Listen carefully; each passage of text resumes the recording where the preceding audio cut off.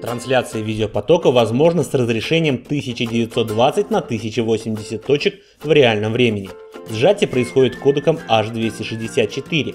Имеется два потока вещания. Камера Hikvision 2022 поддерживает работу в режиме день-ночь, оборудована механическим ИК-фильтром и ИК-подсветкой с дальностью действия до 30 метров. Также на борту камер присутствует цифровой широкий динамический диапазон, трехмерное цифровое шумоподавление.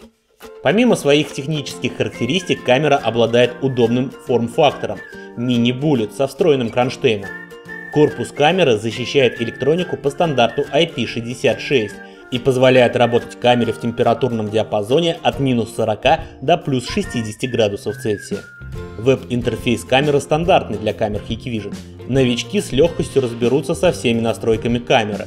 Для опытных пользователей тут нет ничего нового. Питание камеры осуществляется через специальный разъем 12 вольт, либо через разъем Ethernet по технологии PoE.